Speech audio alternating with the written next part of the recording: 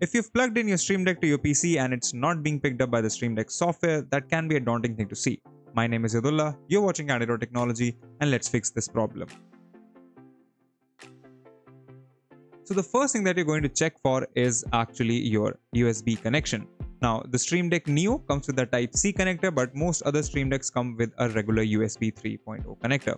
When you're plugging them in into your PC, make sure that you plug them in onto a USB 3 port. Make sure that the connection is proper and just try moving around ports in general so that just to make sure that it's not a port problem. Moving on from that, uh, you should try to restart the Stream Deck app.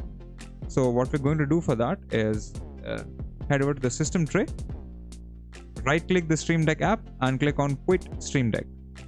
This will open up a small window. Uh, pressing keys won't have any effect. I know. Click quit and that's it. So now right click the start menu and click on task manager in here we're just going to search for uh, stream deck now we've closed the program so there is no reason why it should be running here but this is just to check uh, in case there are any instances running. You can also close stream deck directly from the task manager uh, if you just want to skip the part and make sure that you completely kill the process. So it's not running at all. We've seen that. Now we can now close this and uh, launch stream deck again as usual. Give it a second and it should immediately detect your stream deck. If not let's move on to the next solution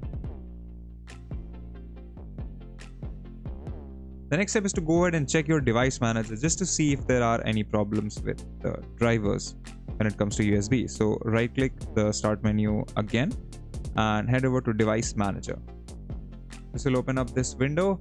Now uh, we're going to have to do some digging in here but you should see this or you should see your uh, stream deck show up in uh, one of these universal serial bus controller headings so uh, i have g502x plus that's my mouse so that was separate other controller usb composite device generic usb hub that's not what we're looking after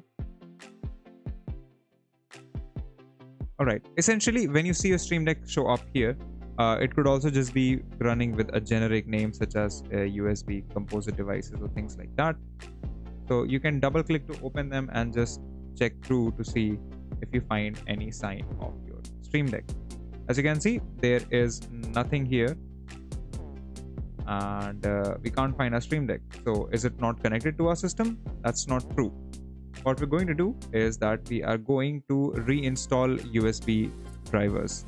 So just click uh, run uh, for scan just run a quick scan and uh, once you're done we are going to come to our generic USB hub right click it and click on update driver now it will ask you to search automatically for driver. So there are two ways you can fix this. Um, number one is to of course search windows drivers. It will tell you that you already have the best drivers. So if that doesn't work you can head back to your browse my computer for drivers. Click on let me pick from a list of available drivers and you can install the legacy driver that's present on your system. Once you're done with everything, click next, apply all the changes, restart your system or unplug and replug the Stream Deck to see if that functions. Finally, if that doesn't work either, your best bet is to try and reinstall the Stream Deck program and download the latest updated version from Elgato. Uh, doing this is also very easy. Just right click your start menu and head all the way over to installed apps. Now I'm just going to search for Stream Deck in this list and as you can see the software appears right here and it's gone. Stream Deck. Yep, right here. So what we're going to do is uh, go all the way to the other end, click on these three dots, click on uninstall, then click on uninstall in the warning that Windows shows us. And once you're through with these steps, your Elgato Stream Deck should be back up and running with no problems. If you like this video, consider subscribing, give us a thumbs up, press the bell icon and tell us in the comments below what more such videos can we make for you. If you'd like to know more about tech, visit our website candid.technology, follow us on social media, follow me on Instagram or Twitter, and we'll see you in the next video.